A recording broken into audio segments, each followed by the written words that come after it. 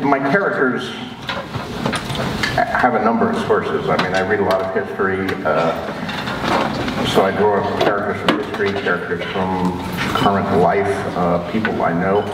Um, but ultimately, of course, I think you have to turn inward to give your characters real life. You have to, even if the character is nothing like yourself, and uh, you know, a, a, character like Sandy Blair, the protagonist of, of Armageddon Rag, does share certain aspects of my um, autobiography. I mean, he and I both went to Northwestern. We were present during more or less the same years. We shared some of the same experiences.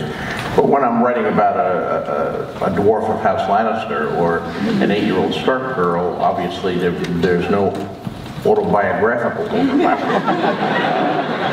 I've never actually had a dragon or been an exiled princess and all that. But you still have to try to get into the heads of whatever viewpoint characters in particular you're creating. Um, and to do that, you have to use your own feelings and your own emotions and your own thoughts about, okay, this, I'm not like this person, but what if I was like this person? How would I feel about this? And, you know, to the extent that you know, anyway, I don't know any actual dragon writers, uh, but uh,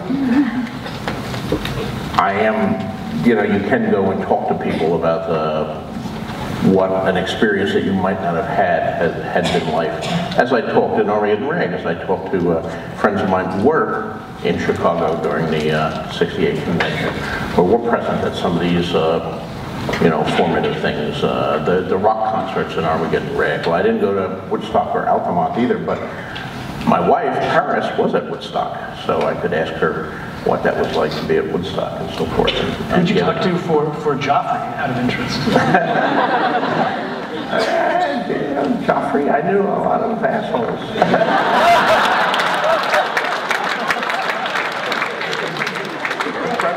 in, in, all societies and, uh, and, and all all cultures, I'm afraid, uh, around the world. and of course, the other thing to remember about Joffrey is that he's a, you know, and this is particularly true, of course, in the, in the books. He's a, he's a 13-year-old kid.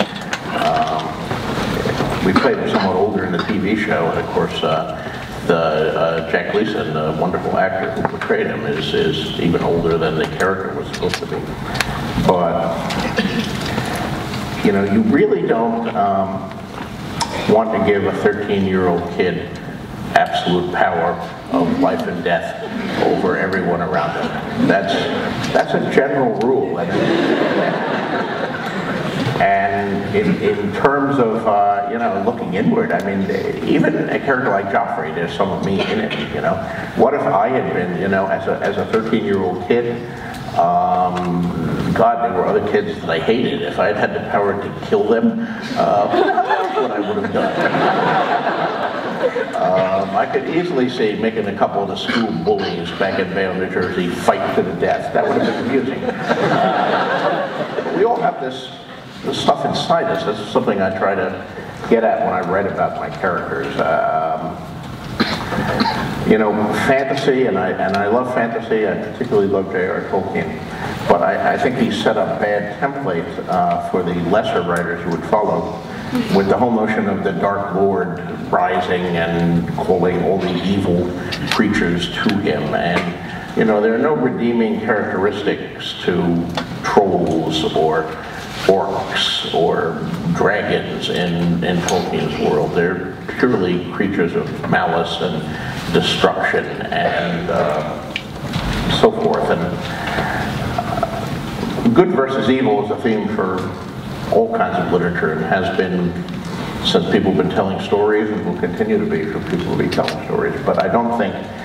that the battle between good and evil is necessarily fought between you know one group of noble heroes on one side who have nice white cloaks or white hats or whatever, and, and on the other side a bunch of really ugly guys who, who wear black and smell bad. Um, it, the battle between good and evil is fought within the individual human heart, uh, between all of us every day and every year and uh, people who do noble and heroic things on Tuesday may do something vile and selfish on Wednesday. Um, our lives are sequences of choices that we're constantly having to, to wrestle with, and that's kind of what I try to get at in, in that. I even tried some of that with Joffrey. I mean, I, some people pick up on this, I know not all, but at the moment when, when Joffrey is actually dying, I, I tried to give a instant of pathos there where Tyrion, who's watching it happen, realizes this, he's seeing a 13-year-old kid in terror, choking to, to death before his eyes.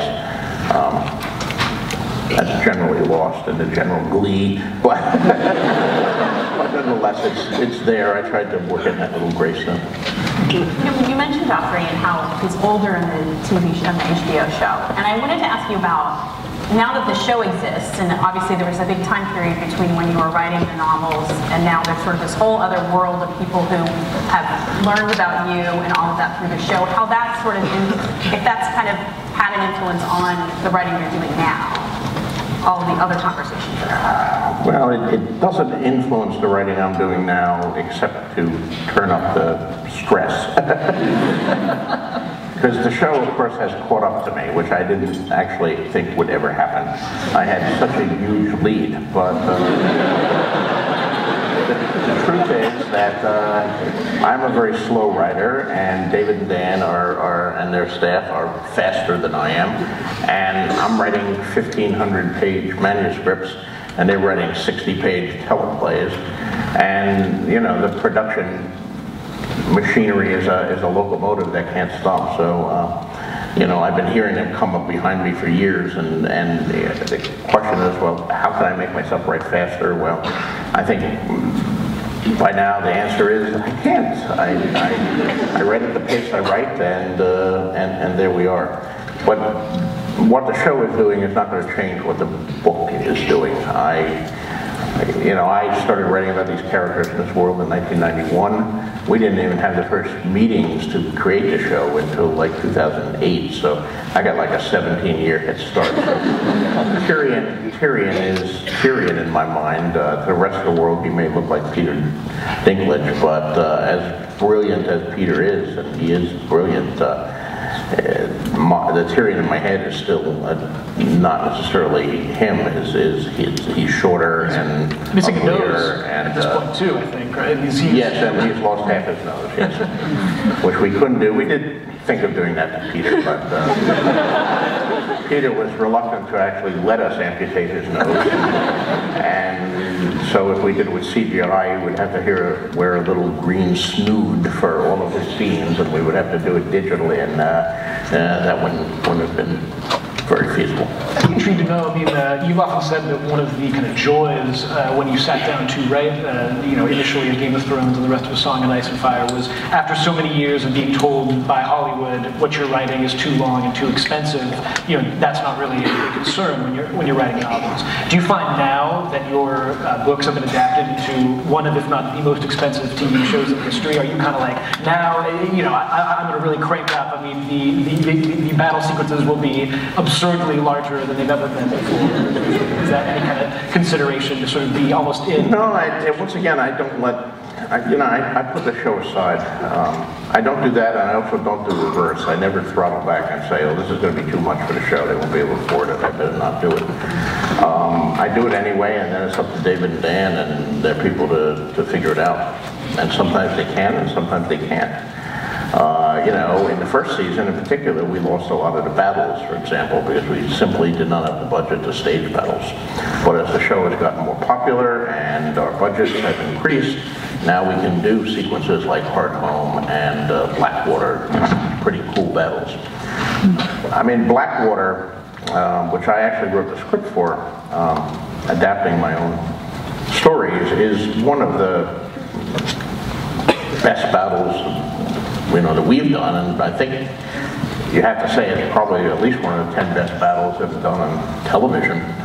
Um, but as great as it is uh, in the TV show, it's it's not a third of what's on the book. I mean, in the book, there's all sorts of elements. There's, you know, there's an entire other army that's on the other thing that's trying to come across in boats. There's, you know, the, the burning ships kind of lock together. They crash into each other and they form a, a bridge of boats and people are swarming across that. I've got five gigantic trebuchets that are throwing, throwing traders uh, across the river and bodies are falling out of the sky. I've got a chain that goes across the harbor that they set on fire. Um, you know, lots and lots of elements that uh, we simply couldn't afford to do. But what they could afford to do was pretty cool. So. I think one of the things, obviously, about the show also is there's a whole other world of internet journalism that is and media coverage that is generated. And I wanted to ask, especially uh, as someone who was trained as a journalist, what your you probably have, I think, a pretty unique perspective on how you're covered now. Yes, it's, it's, oh, I have very mixed feelings about all of this here. Game of Thrones is covered by a number of media outlets, by probably like 20 of them at this point, on a week-by-week basis. I mean, an episode comes out and uh, on Sunday night, and by Tuesday, we have 20 reviews of that episode from Entertainment Weekly and, uh, and you know, the, the Washington Post and the New York Times and, and uh, you know, on and on. There's a, there's a whole bunch of them um, that are reviewing us episode by episode, recapping the episodes, and then hundreds of people commenting on the episode. It, it's a really an incredible level of attention. Um, you know, when I was a younger and, and growing up, I mean, nobody reviewed television shows, or if they did review television shows, they reviewed, you know, TV Guide would run a one-page review of the Dick Van Dyke Show, and it would like be covering the entire show, you know, oh, this is a funny, pretty funny show, and Dick Van Dyke is good, and etc. Um, there wouldn't be this, this intense analysis every episode.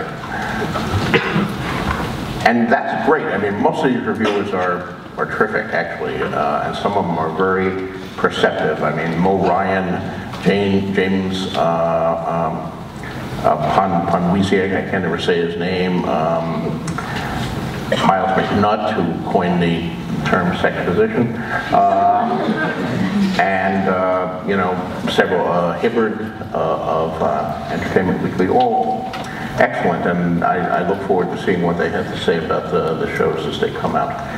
Um, and we're fortunate because we're one of the handful of shows that are covered like this. Uh, you know, Mad Men was covered the same way. Breaking Bad is covered the same way.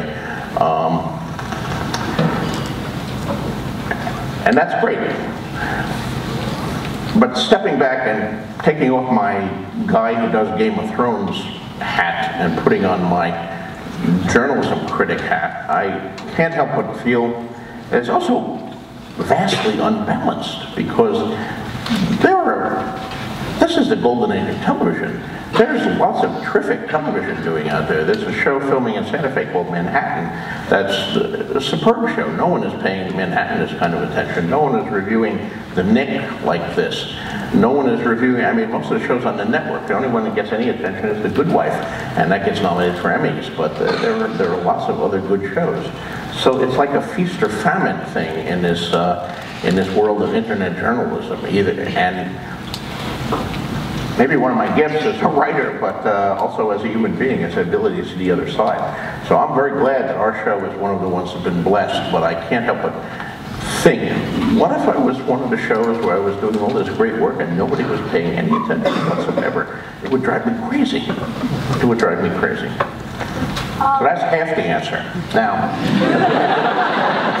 getting aside of reviewing the shows is, is the general quality of internet journalism in general, which I, I, more and more, as I experience it more and more, I think is appalling. It's appalling. And, and you know, I, whatever journalistic standards I, I, learned here at Medill certainly doesn't seem to apply on the internet anymore. I, am astonished by the things that I say when I read about them on these internet click, clickbait things. And, you know, they're outrageous headlines and uh, uh, taking things I've said, or sometimes I think they make it up out of whole cloth. I mean, I, I read stories about myself I've never, as far as I know, I've never talked to this person or said anything. Where the hell is this story coming from? And there it is. It's getting thousands of clicks and views, and then I'm having to do other interviews where I have to answer what I supposedly said. You know, what? Where is the journalistic standards for this internet thing? Where, where is? I don't, I don't know. I mean, it's, it's, you know, they all should get a Medill F. They're getting it wrong. Um, so, um, now that we're talking about Game of Thrones and the brand, how do you think um, the, the cultural and global impact of Game of Thrones is beyond the United States? Like, I know my friends in El Salvador know about it. People overseas know about it. What do you feel about like the global impact of it? Well, you know, it's huge globally.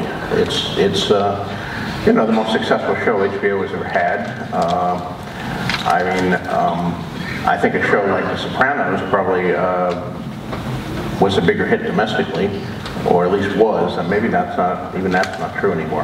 But Well, right from the first, Game of Thrones has outperformed The Sopranos and other shows internationally.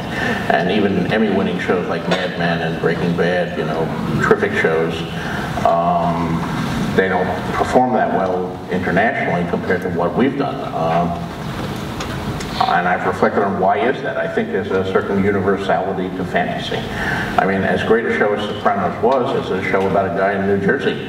Um, but swords and kings and dragons and magic, I mean, these are, these are uh, legends that are common to many cultures throughout the world. Uh, virtually every civilization that we know of passed through a period where there were kings and lords and people fighting with swords and contending for, for dominance and trying to straighten out these things. And legends of dragons occur in, in you know, numerous different cultures. So I think that gives us a, a certain uh, universality that makes it translate very well into other languages. The books themselves are in more than 40 languages now, and uh, including some fairly startling ones. I mean, I, I just got some of the Mongolian editions recently. And, okay, I'm, I'm in Mongolian. Uh, that's pretty cool. Um, and uh, I, we, I just signed an uh, Irish Gaelic, uh, so they'll be in Gaelic. And um, you know, all, all my earlier books had, of course, been translated into the usual, the usual culprits here, uh, French and Italian and Spanish. Um, but um, to, to get into these, these other countries all around the world is, is amazing.